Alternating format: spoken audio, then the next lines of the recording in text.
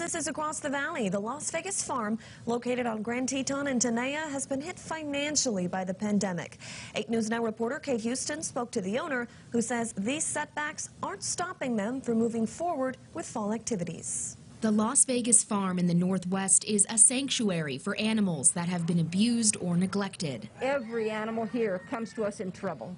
Every animal comes to us in a, in a, in a horrific state. Sharon Linsenbardt owns the farm and has dedicated her life to rehabilitating animals, but it comes at a cost. Feed alone is more than $7,000 a month. Due to the pandemic, the farm lost its steady stream of field trips and weddings. Without those sources of income, it's really difficult for us to be able to feed and care for these animals that are in trouble. Linsenbardt is now looking towards fall, hoping it can give them the boost they need. During the fall season, many families come to the farm to feed animals like Hazel here and pick some pumpkins.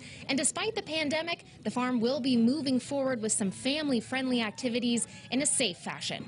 Linsenbardt plans to sell pumpkins, but spread the area out to keep families distanced. She tells me the farm has hosted fall festivals for over 40 years. She wants to continue that tradition. With the families that come in here, uh, eh, with this openness that we've got, everybody can stay far enough away from each other to be able to have a real fun day. In the meantime, Linsenbardt is keeping the farm open every weekend so the community can browse their farmers market and interact with the animals. And that'll keep helping us until we can get back into our field trips and our weddings and the other things that bring in enough money so we can continue here.